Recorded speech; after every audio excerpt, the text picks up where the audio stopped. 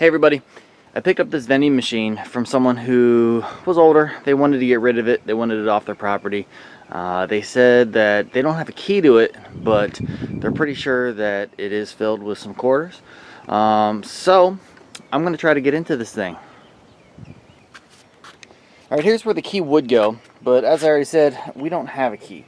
So I'm going to take a drill, and we're going to try drilling it out. Let's see if this works.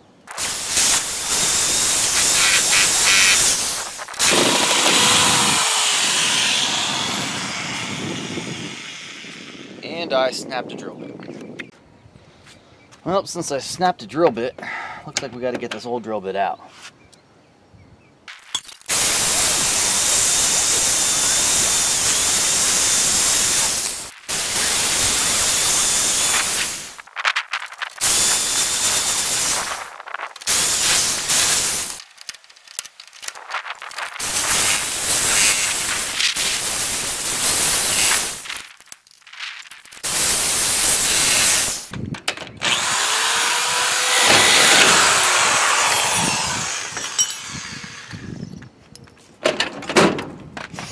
There we go.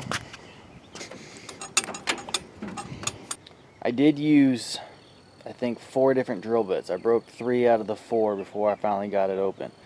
But if you use, I think, I think if you use a bigger drill bit, you probably wouldn't have had as much of a problem. Um, but I had a couple smaller ones. So it did take me four to get through it, but ultimately if you drill out that lock, you'll be able to open it. Now here's the moment we've all been waiting for. Is there any money in here?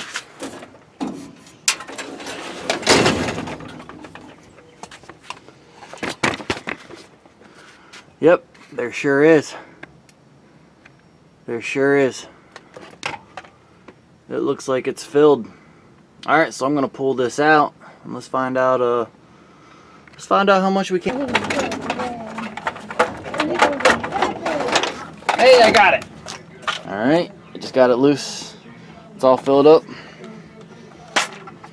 Alright, here we go. Let's see how much money we made.